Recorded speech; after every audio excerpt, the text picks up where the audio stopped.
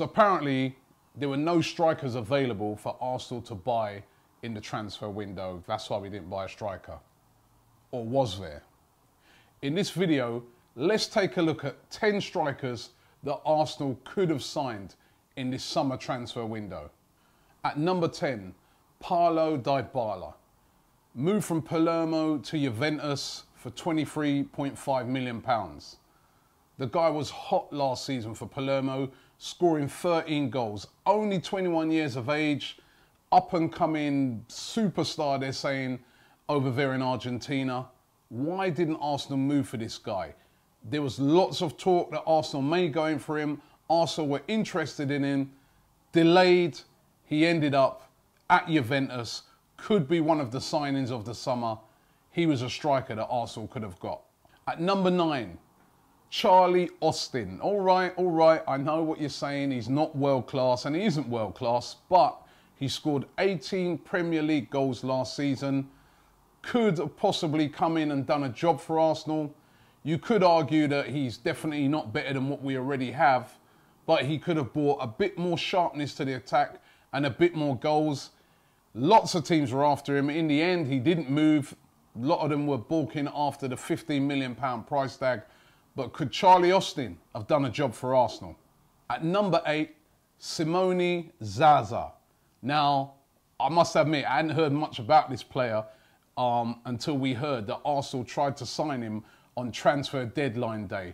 Plays for Juventus, um, was part owned by Juventus, was out on loan last season to a team called Sassuolo, where he scored quite a lot of goals. Juventus bought him back Arsenal moved for him on deadline day, had a great chance of signing him, but didn't want to pay the £22 million asking price that they were offered. Hence, we passed up on this guy. He's an Italian international. Could he have come in and done a job for Arsenal? We're never going to know, are we? Number seven, Edin Dzeko. Manchester City sent him out on loan to Roma. He's already scored goals for him could have been a good addition to Arsenal. All right, he didn't have a great season last year um, playing for Manchester City, but he looked like he'd gone stale there. 29 year old Bosnian's got experience of playing in the um, Premier League and Champions League and has always been a goal scorer throughout his career.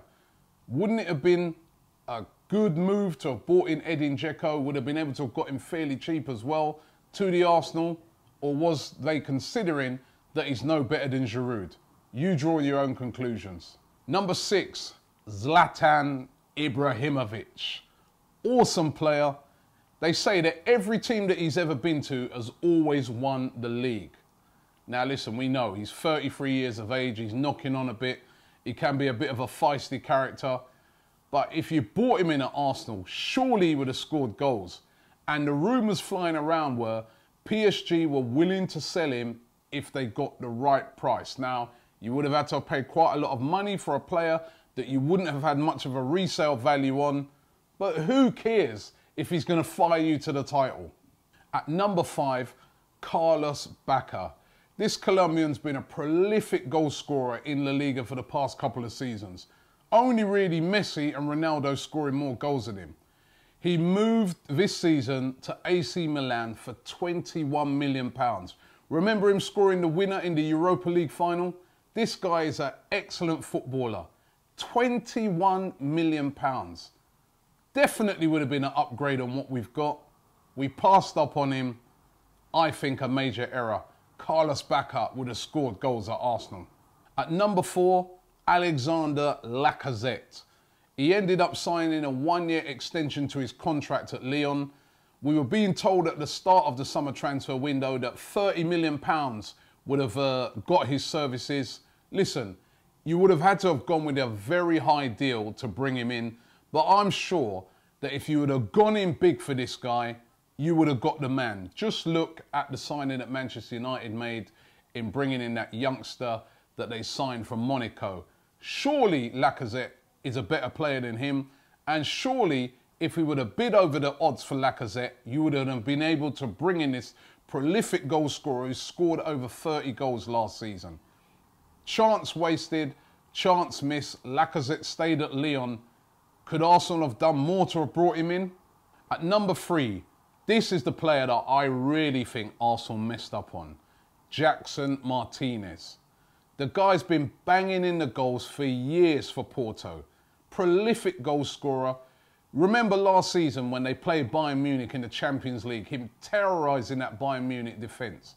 His style of football would have suited the Premier League perfectly. Instead, we waited, we divered, we didn't go in for him. He ended up at Atletico Madrid, where he's already started off his career there with a goal. I think we missed out big time. Only 25 million pounds. That's all it would have cost to have bought in this prolific Colombian. Yes, he is 29 years of age. There wouldn't have been a resale. But as I said before, do you care about resale if we win the Premier League? At number two, Edinson Cavani. World class player at PSG. Was always going to be a hard deal to have done. But we are being told that PSG would have been willing to sell for 50 million pounds. It's crazy. It's over the odds but it's reality. If you want to get a player of this quality to a club like Arsenal, you're going to have to spend over the odds. Arsenal were not prepared to do it. He's still at PSG. He started off the season with goals, an opportunity missed. At number one, Karim Benzema. It went on the saga the whole summer. Let's have it right. Benzema really wanted to stay at Real Madrid. And Real Madrid didn't really want to sell. But did Arsenal go aggressive enough to try and make a deal like this happen? Paul Merson said in a recent interview that Arsenal should have offered 80 million for, for the player and he may have gone. If you're going to dislodge these major players, you've got to go high over the odds. Real Madrid did it when they bought Gareth Bale.